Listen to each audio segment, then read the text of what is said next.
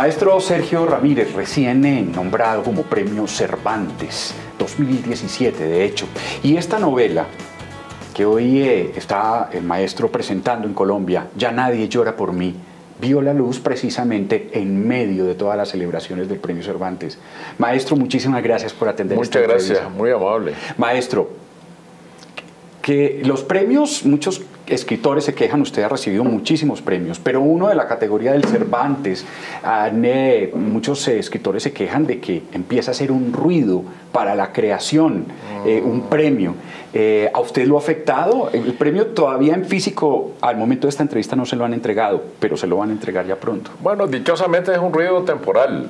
Desde que yo recibí el anuncio oficial de parte del ministro de Educación y Cultura de de España por medio de una llamada telefónica, pues eh, la casa comenzó a llenarse de, llamadas telefónicas, de visitas, de solicitudes de, entrevistas, eso fue amainando. Eh, luego coincidió con que yo presentaba este libro, eh, antes de que me consideran el premio, entonces se han juntado las dos cosas.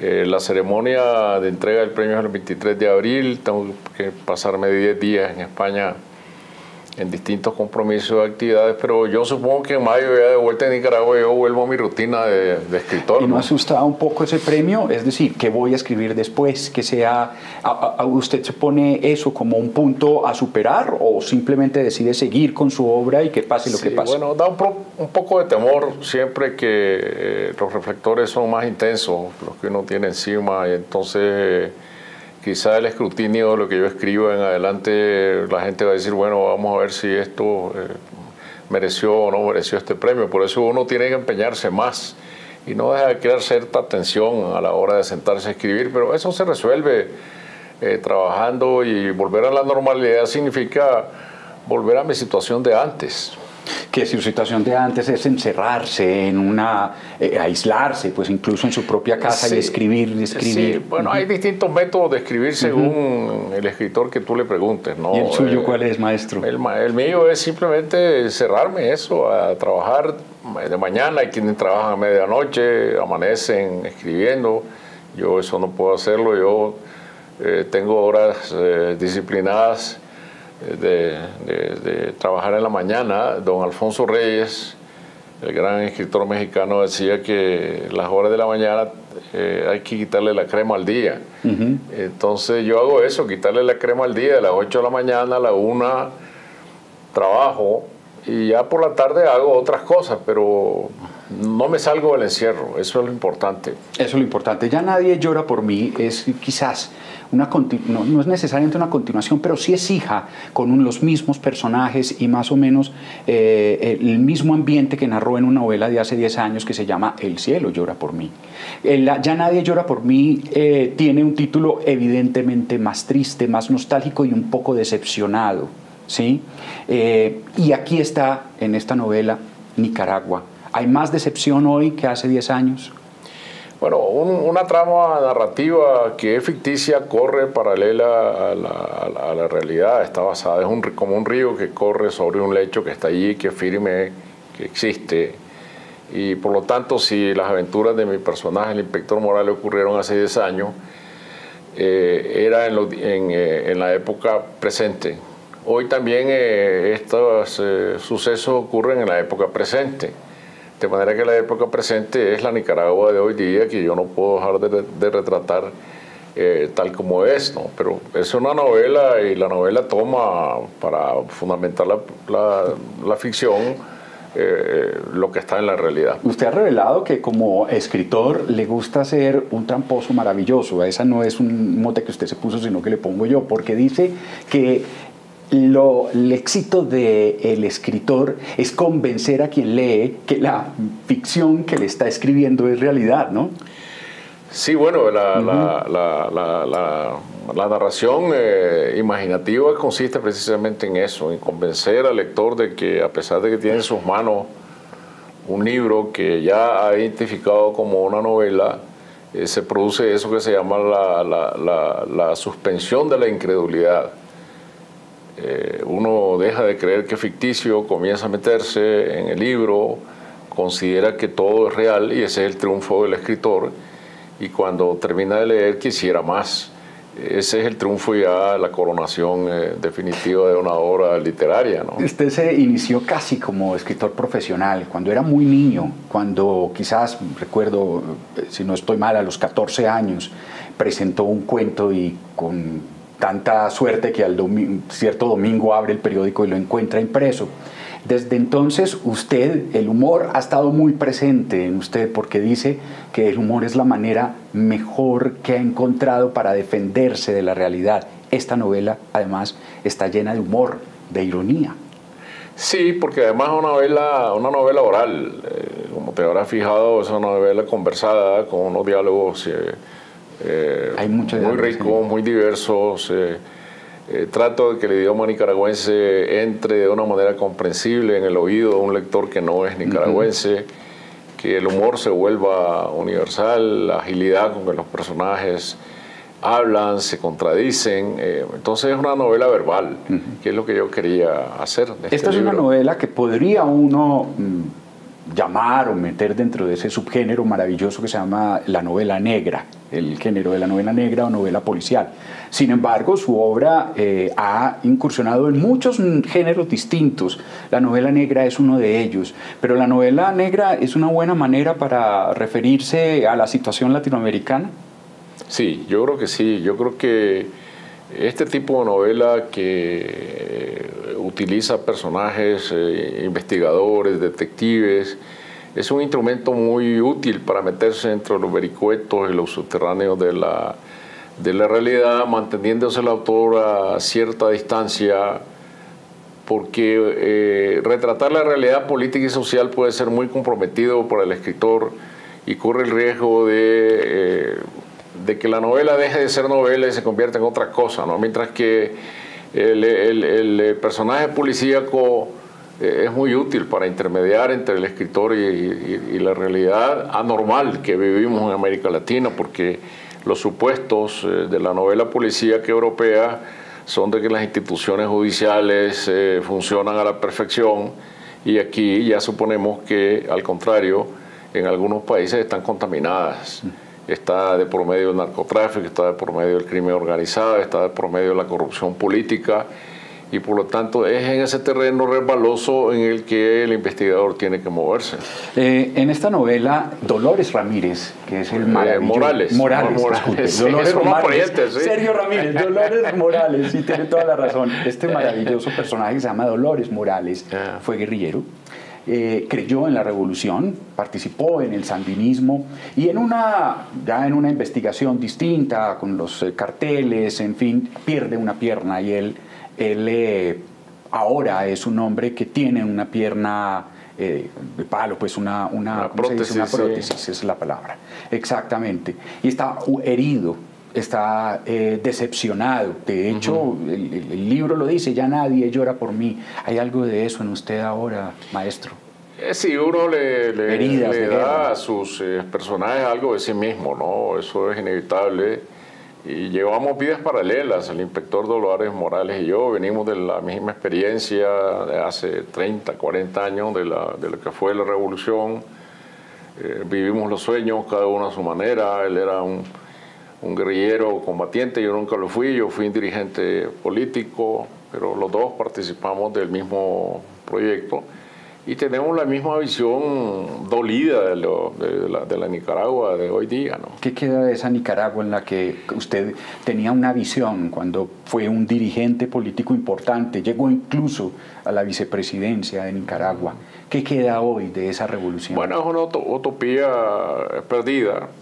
Eh, es un, un proyecto que no cuajó, que no funcionó, que se disolvió en el tiempo y, hoy no podemos hablar en Nicaragua de que exista nada parecido a una, a una revolución basada en los ideales que se vivieron entonces, porque era una revolución hecha por gente muy joven. El inspector Dolores Morales pues habrá tenido 20 años cuando se metió a la guerrilla a combatir en el Frente Sur y él envejeció con esa nostalgia. Sí, hay algo también de esa nostalgia, lo podría extender a Latinoamérica. ¿Cuál es su mirada hoy, por ejemplo, de la Venezuela de hoy?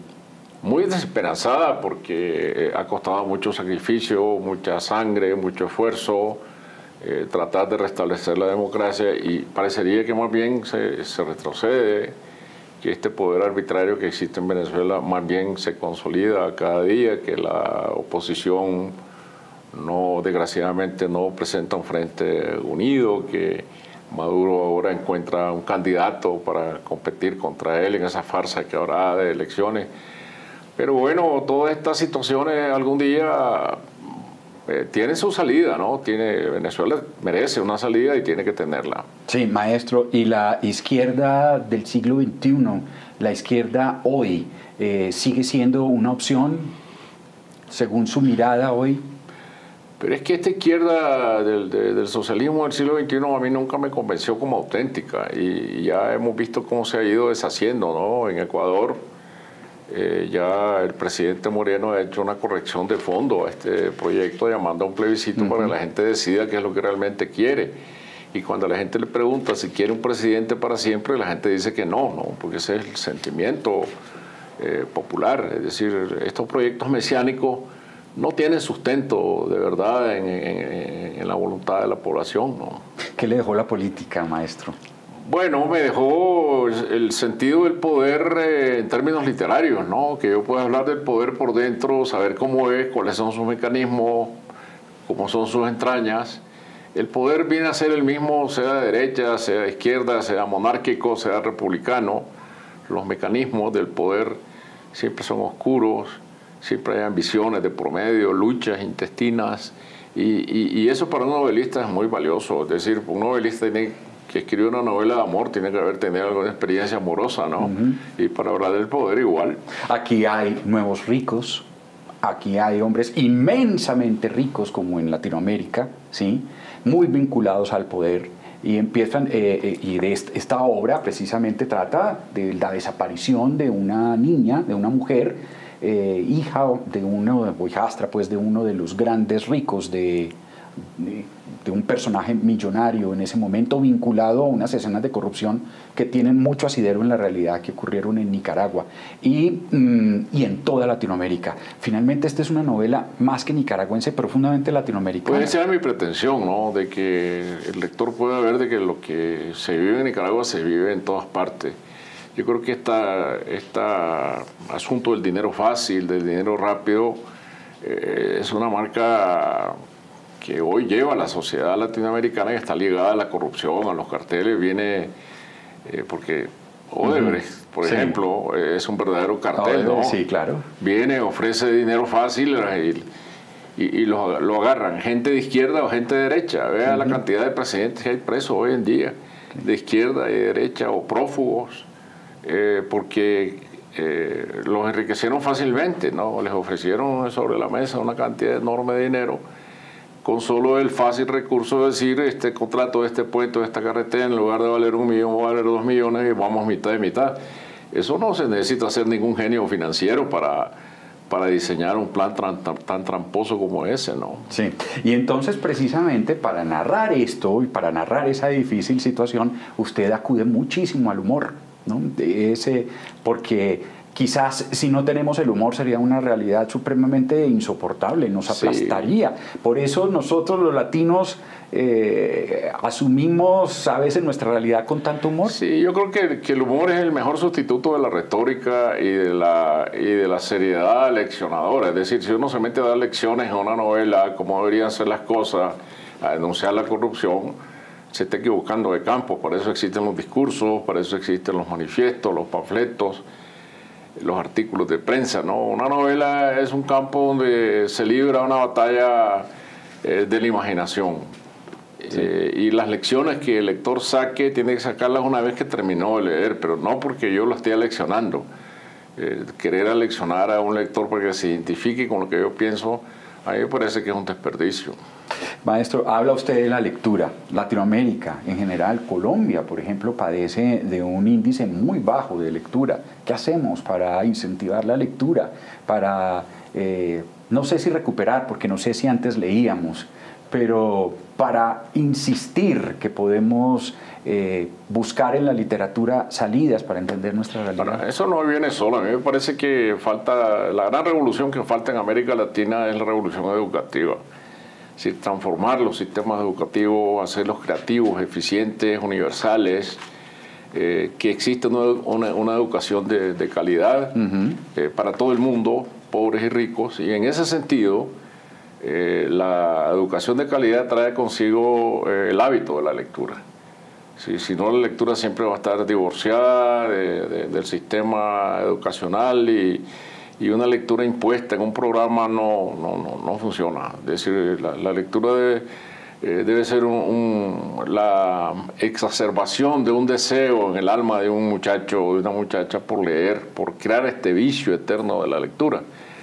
Sin embargo, no podemos decir que en América Latina no se lea del todo. Uno eh, visita o viene a participar en la Feria del Libro de Bogotá y se da cuenta que son ríos de gente entretenida con los libros, con su familia, los niños viendo libros, comprando libros. Eh, lo mismo eh, mi experiencia he tenido en Lima, en Buenos Aires. Es decir, yo creo que las ferias de libros, por ejemplo, son un buen mecanismo para incentivar la lectura, pero yo vuelvo a decir lo mismo, tenemos el asunto de fondo que es el sistema educativo en general. Sí, eh, cuando hablamos del sistema educativo, cuando a uno en, en, los primeros años del colegio lo obligaban a leer libros que no eran adecuados para su, eh, su edad y sobre todo libros que después había que abordar desde un punto de vista temático, sin el sentimiento, sin la felicidad. Borges decía que la lectura era como la felicidad y la felicidad no se puede obligar a sentir, sí, o, enseñar enseñarla a leer de manera equivocada, pienso yo. Eh, eh, por ejemplo, el Quijote, ¿no? El Quijote eh, es un libro grueso, pesado, y, y uno de niño o o de adolescente pues lo mira necesariamente con temor y si a uno le dicen que ese libro es un libro que le va a enseñar a actuar en la vida, que tiene filosofía de la vida, ya lo comienza a ver como aburrido. Pero si a mí me dice, el profesor, este es un libro cómico, nos vamos a reír juntos, tiene mucho humor y la risa es el mejor elemento que tiene este libro, pues yo me voy a interesar y si el, el, profesor me comienza a contar los episodios cómicos del Quijote, pues entonces yo voy a leer después los otros episodios hasta completar mi propia mi propia lectura. Maestro, eh, usted eh, sigue con su producción literaria, está pensando ahora en otra novela y cómo sigue con sus cuentos, porque usted siempre lo ha dicho, yo nací cuentista y no considero el cuento como un elemento inferior o un género inferior o un camino para llegar a la novela. Esto es otro género completamente distinto. ¿Sigue usted en su producción? Yo sigo eh, siendo un cuentista, como lo fui desde el principio. Efectivamente, yo empecé como cuentista eh, mi primer libro de cuentos yo lo publiqué cuando tenía 20 años y siempre he alternado entre la novela y el cuento porque el cuento es un género que me gusta, un género que prueba la eficacia que uno tiene en manejar los instrumentos de la narrativa. En el cuento hay que ser muy preciso, eh, tiene que desarrollar una sola historia en pocas páginas con pocos personajes, eso no, no, no, no muchas veces es fácil. Eso eh, es, como se dice en atletismo, son diferentes grados de dificultad. Eh, el de la novela y el del cuento. Y para mí son géneros eh, paralelos que vale la pena cultivar en paralelo. La literatura, Sergio Ramírez, pero también estamos hablando de Sergio, con Sergio Ramírez de otro de sus pasiones que ha sido el pensamiento político y social, no solo de su país, sino Latinoamérica. ¿Cómo ve a Colombia ahora, maestro, en general? En, el sentido político y sobre todo en este proceso tan accidentado que ha sido el proceso de negociación y del posconflicto colombiano? Pues mi aspiración como latinoamericano sería que tras el cambio político que, que viene con las elecciones de, este domingo parlamentarias y las elecciones presidenciales en abril, sí, señor. Eh, lo que se ha conseguido el proceso de paz hasta ahora no, no vaya a ser echado para atrás. Un proceso de paz siempre es difícil, a algunos no les gustan las amnistías, no les gustan la impunidad o la inmunidad, pero eh, yo viví el proceso de paz en Centroamérica que fue muy complicado, no solo era la paz solo en Nicaragua, sino también en El Salvador, en Guatemala, todo Centroamérica estaba en llamas. Se consiguió la paz y eso fue un gran, eh, un gran logro, ¿no? y que ha funcionado. ¿Y cómo hacemos con los odios que todavía tenemos como ciudadanos? Pues los odios tienen que irse aplacando, ¿no? En la medida en que la paz eh, eh, eh, demuestra que es mejor siempre que la guerra. Es decir, que el odio, la venganza, tienen que irse esfuminando en la medida en que la paz vuelve a los lugares que fueron asolados por la guerra y y uno se da cuenta que eh, es preferible sacrificar los sentimientos y las conformidades a ese hecho concreto que es la paz, si la paz llega a funcionar de verdad. ¿Cómo calificaría o cómo describiría usted la paz? ¿Qué es la paz en un país como lo fue Nicaragua, Salvador, Colombia? la convivencia pacífica, la tolerancia, que quienes han tenido las armas en la mano puedan ejercer sus derechos políticos, eh, tener las oportunidades de elegir o ser eh, electos, que sea la población la que defina si le va a dar respaldo o no le va a dar respaldo político, si lo va a elegir, si no lo va a elegir, dentro de las mismas reglas del juego. Pero eso, eso que sustituye a, los fusiles, a las muertes, al sacrificio, eh, es en lo que consiste verdaderamente la paz. Y la experiencia que usted vivió como observador de la reconciliación en Nicaragua. Fue un proceso complicado, pero yo creo que eh, se dio bajo otros mecanismos y, creo que se logró, porque en Nicaragua hubo una guerra civil que duró 10 años, la guerra de los contras, en donde el país se partió por la mitad. Eh, no es que el país se partió entre pobres y ricos, sino que el país estaba arraigado de arriba abajo, ¿no? Y las familias estaban divididas, las familias estaban enfrentadas, había familias que tenían hijos en la contra, hijos en el, eh, en el, eh, en el sandinismo, hermanos contra hermanos. Entonces esa reconciliación comenzó por darse por surcir esas heridas en la familia.